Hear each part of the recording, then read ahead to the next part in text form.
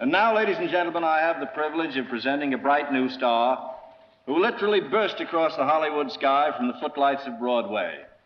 Last year, in her third picture, a little thing called Gentleman's Agreement, she hit the jackpot. She is here tonight to present the award for the best performance by an actor in a supporting role. Ladies and gentlemen, Miss Celeste Holm.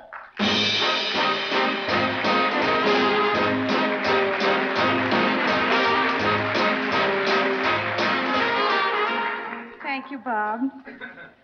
I remember so well how I felt last year sitting out there, trembling, excited, and hopeful, and finally overwhelmed with gratitude. So far be it from me to prolong the suspense.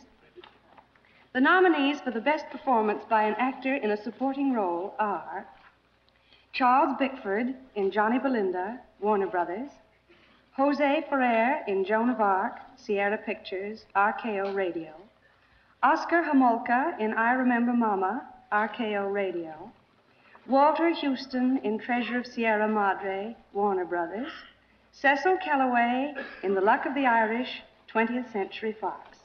And the winner is Walter Huston.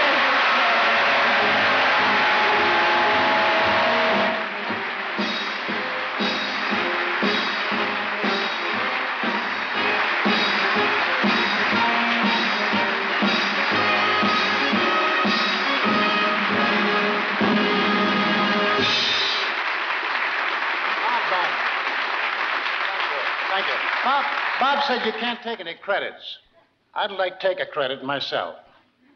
Uh, many years ago, many, many years ago, I raised a son, and I said, if you ever become a director or a writer, please find a good part for your old man. He did all right.